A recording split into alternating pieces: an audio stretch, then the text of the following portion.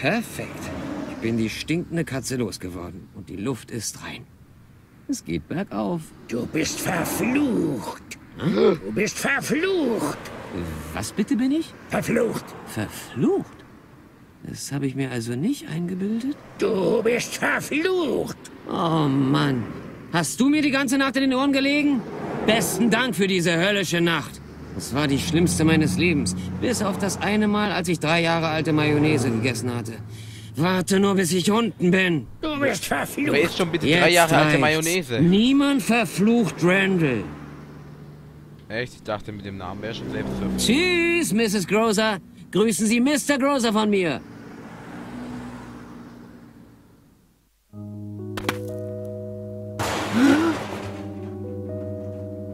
Du bist verflucht. Scheiße. Wie wahrscheinlich war das? Puh, das war knapp. Ich glaube, ich kotze gleich mein Herz raus. Puh, der Geschmack der Freiheit. Du bist verflucht. Langsam, langsam. Dich habe ich nicht vergessen. Kleinen Moment, ich check nur kurz, ob alles da ist, wo es hingehört. Und dann entscheide ich, ob ich mich mit dir anlege oder sehe, dass ich hier wegkomme. Nachdem ich dir einen Stein ins Gesicht geworfen habe oder sowas. Ah ja. Excuse me, I am trapped since time already. Complete episode 1. Okay. Ich wollte gerade was nachschauen. Warum zum Geier sollte ich einen kaputten Blumentopf mitnehmen? Der bleibt hier. Ich könnte mir die Augen ausheulen, wenn ich Veganer wäre. Ich trage nicht gerne Müll ein. Oh, Klebstoff. Manchmal gibt's ja was Nützliches, aber meistens ist da nur Müll.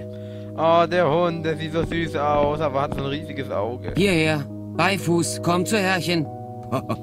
Der hört mir gar nicht zu. Hey, ein kleiner Chihuahua. Sein Name steht im Halsband. Ich glaube, er ist Barclay. Ja, anscheinend. Ich glaube, da finde ich nichts Nützliches drin. Ein stinkiger Müllcontainer. Da fasse ich bestimmt nichts an. Dann reden wir mal mit dem Penner. Du bist also ein Penner, hm? Und du bist? Wie jetzt? Du weißt nicht mal, wer das Opfer deines Geschreis letzte Nacht ist? Falsche Adresse, die Katze ist da lang. Oh Mann, armer alter Kerl. Der Alkohol hat dir das Gehirn zersetzt. Hör zu, dein Problem ist, du hattest ziemlich lang kein Mädchen mehr, wenn überhaupt jemals. Hab ich recht? Hör du mal zu, Penner. Ich hab da zwei Worte für dich. Halt deine Scheißfresse. Man sagt, dass wenig zu wissen gefährlich ist. Aber was ist, wenn ein Mensch zu viel Wissen besitzt? Naja, der endet nicht in der Gosse, so viel ist mal sicher. Wo hast du den Spruch überhaupt her? Aus einer Fernsehserie oder so? Nein. Du meinst ja? Nein. Echt nicht? Weil ich glaube, den habe ich letzte Woche bei Scary Door gehört. Nein, habe ich gesagt. Wir Penner sehen uns keine Sci-Fi-Serien an. du hast dich gerade verraten, alter Junge. Nein, das glaube ich nicht. Okay, was auch immer. Pass auf dich auf, alter Junge, und mach keinen Ärger. Nicht, dass man dich wegsperrt. Wir sehen uns wieder. Kannst kaum erwarten. Du bist verflucht! Also, jetzt kannst du es wohl kaum leugnen. Du hast es gesagt, ich hab dich gehört. Was gesagt? Warum tust du mir das an? Ich hab dir doch gar nichts getan. Noch nicht. Aber du wirst. Ich kenne Leute wie dich. Ich hab selber Probleme, weißt du. Mein Boss und mein Vermieter sind Deppen und beide sind angepisst. Und wenn ich das nicht in den Griff bekomme, wohne ich bald auch hier unten bei dir. Wenn Wissen Macht ist und Macht korrumpiert, wie soll die Menschheit nur überleben? Gott, schon wieder diese Lahmsprüche? Musst du nicht ordentlich fürs Copyright blechen oder sowas? Nein, ich nicht. Okay, klasse. Also zusammenfassend, du bist ein Penner und ich bin verflucht. Genau. Aha! Hast du nicht gesagt, du weißt nichts darüber? Das war nur meine Meinung. Ich denke, du bist verflucht. Und ich kann dir helfen.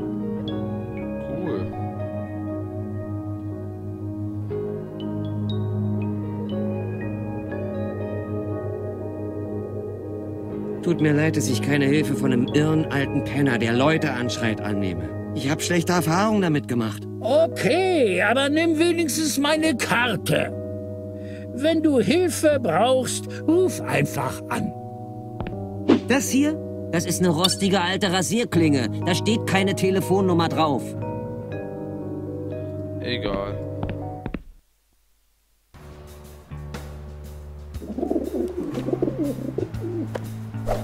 Na bitte. Damit ich mir die Tollwut hole? Nee, lass mal. Scheiß Flugratten. Nur ein Typ, der Zeitung liest. Scheint voll bei der Sache zu sein. Gucken wir doch mal in den Müll. Nichts von Interesse. Ich durchwühle keinen Müll. Nicht mehr. Geschlossen. Das Loch ist schon eine ganze Weile zu. Schade eigentlich. Der einzige Laden, wo man die ungekürzte Fassung von Mary Poppins gekriegt hat. Echt hardcore.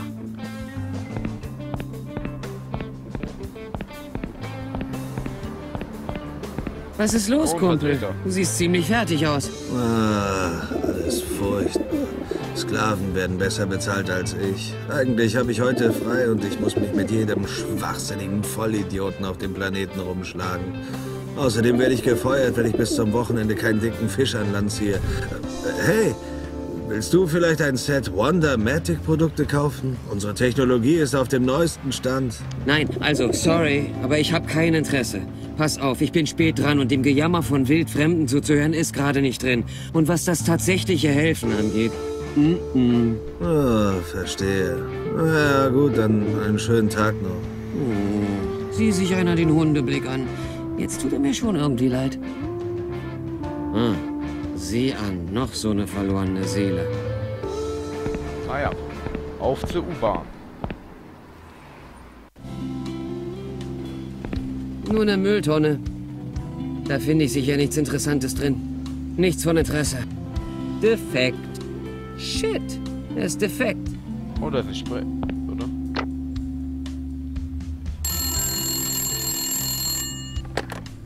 U-Bahn-Notruf. Gibt es einen Notfall?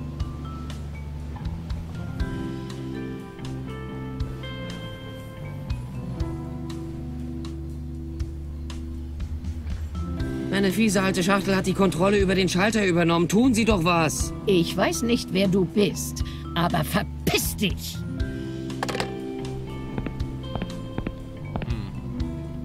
Das nehme ich. Zutritt verboten? Mann, jetzt will ich erst recht wissen, was da drin abgeht. Ein Ticket bitte. Aha, sechs senkrecht. Entschuldigung, aber ich hab's irgendwie eilig. Ich komme zu spät zur Arbeit, wissen Sie? Waagerecht drei Buchstaben Bauernhoftier. Scheiße, Entschuldigung. Könnte ich bitte ein Ticket bekommen? Einen Augenblick bitte, ich bin sofort bei Ihnen, Sir. Bleiben Sie dran. Sagte sie gerade, ich soll dranbleiben? U-Bahn-Ticket bitte. Hallo? Ich kümmere mich sofort um Sie, Sir. Bitte bleiben Sie dran. Ihr Anruf ist uns sehr wichtig. Aber natürlich. Spitze. Es ist also einer dieser Tage, ja? Gott, ich sollte heute nicht mal bei der Arbeit sein. Hm. Naja, eigentlich schon, aber ich will nicht. Alles, was ich will, ist ein verfluchtes Ticket. Eine Kombination aus elektronischen und organischen Komponenten. Sechs Buchstaben. Was?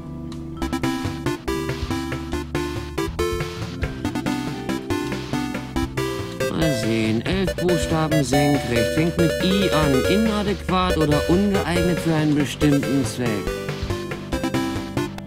Danke für Ihren Anruf und wir bitten um Entschuldigung für etwaige Unannehmlichkeiten. Hey, hey, Moment, legen Sie ja nicht auf. Wagen Sie es nicht aufzulegen. Sie hat aufgelegt. Die blöde Kuh hat einfach aufgelegt.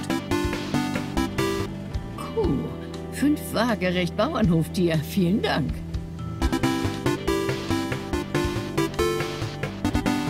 Wissen Sie was? Ich verzieh mich. Es bricht mir das Herz.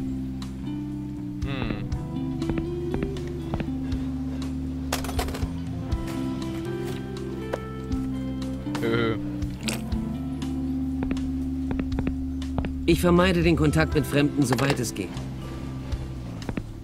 Hey, was glaubst du, was du da machst, Junge? Ähm, naja, nichts. Ich weiß, es sieht vielleicht ein bisschen langweilig aus, äh, weil ich ja weiß, was ich jetzt machen muss, aber... Das ist der Hörer, an seinem angestammten Platz.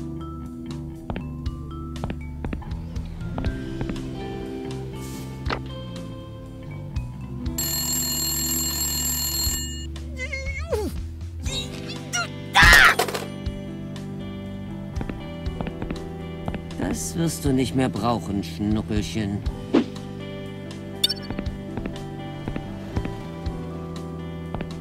Die Mutter aller Trag. Was sollte ich... Das Ding hat mich bereits die gesamte Kindheit und die Hälfte meines Erwachsenendaseins gekostet.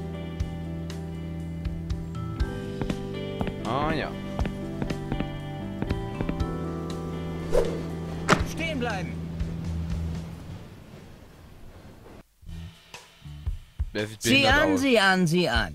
Was haben wir denn hier? Bist du nicht etwas alt, um über die Absperrung zu springen? Hören Sie, es ist nicht, wonach es aussieht. Na, das sagen sie alle. Wirklich, hören Sie, Officer. Officer Murray, dein Freund und Helfer. Ich kenne Typen wie dich. Glaubst du wirklich, du kommst hier einfach raus, nur weil du dich dumm stellst? Naja, Warum wolltest du dich hier ohne zu zahlen durchschummeln? Also ich bin ein armer, glückloser irischer Einwanderer. Oh, großer Gott, was soll das nur werden? Hey, ich bin auch Ihre. Was für ein Zufall. Wo kommst du her?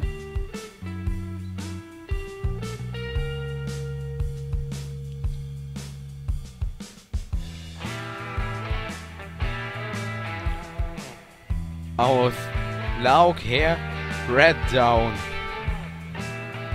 Aus, ähm, äh, aus dem Norden, ganz aus dem Norden, äh, Ballet Money. Nicht wirklich, oder? Da komme ich auch her. Das heißt, dein Mathelehrer war der alte Duncan McGlintis, richtig?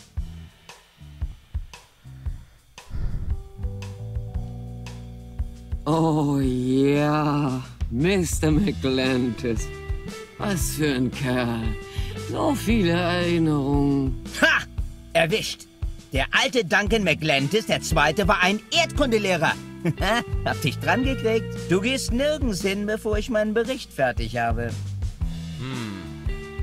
Na super. Sag bloß, ich muss jetzt warten, bis Mary lesen gelernt hat.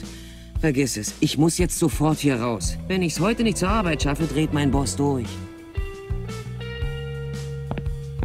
Wieso ist auf die ganzen Bildern Murray drauf, er irgendwo Würstchen grillt?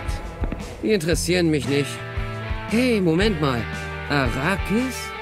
Schloss Wolfenstein? Tron? Area 51? Wow! Sie sind ja ein richtiger Weltenbummler. Und Grillfan. Was? Damit ich... ze- Ein imposanter Globus. Wie schwer der wohl ist. Schätze so etwa sechs Whoopi Goldbergs. Genau. Denn man misst auch Globusse in Whoopi Goldbergs ab. Hey, Minnie Murray, du gehörst jetzt mir. Der Globus ist aus dem Gleichgewicht geraten und wackelt von der Erschütterung der Züge. Ich glaube, der Bolzen hat sich etwas gelockert, aber löst sich noch nicht ganz. Nee, rührt sich nicht. Wenn ich vielleicht ein bisschen Schmiermittel hätte. Hm, ich hab da doch so fettiges Papier. Mal sehen, was passiert. Und los geht's.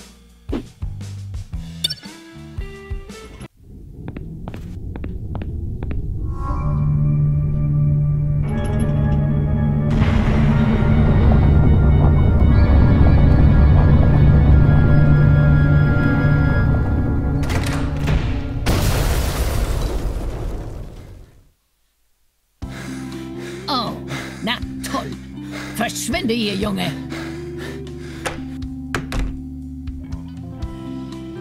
Jetzt Murray ganz außer Atem. Armer Kleiner. Er ist völlig fertig. Hallo nochmal. Könnte ich jetzt endlich mein Scheiß-Ticket haben? Naja, weiß nicht so recht, du kleiner Klugscheißer. Ich war nicht so begeistert von deinem Klebestreich. Hören Sie, Lady, ich muss zur Arbeit und ich glaube kaum, dass der Officer in dieser Sache eingreifen muss, oder? Na schön, hier ist dein blödes Ticket. Jetzt hau ab. Endlich habe ich mein Yes! Ticket. Randall wins. Randall 1-0, äh, Ra Randall 1, Betty 0. Würde ich mal sagen. Dann auf zu Amazon Express. Feindliches Radar kann dich nur entdecken, wenn du sprintest oder deine Waffe abfeuerst.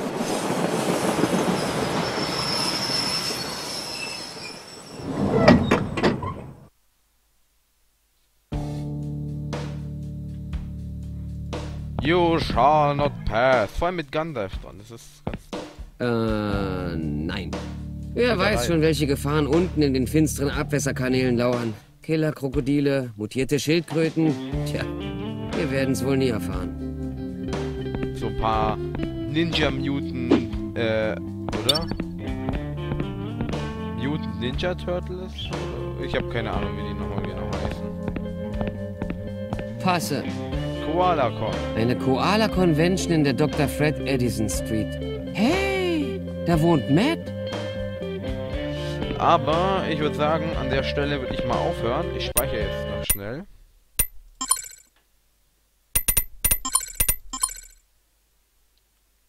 Weil wir haben jetzt schon 22.49 Uhr, eigentlich gleich 22.50 Uhr, aber naja.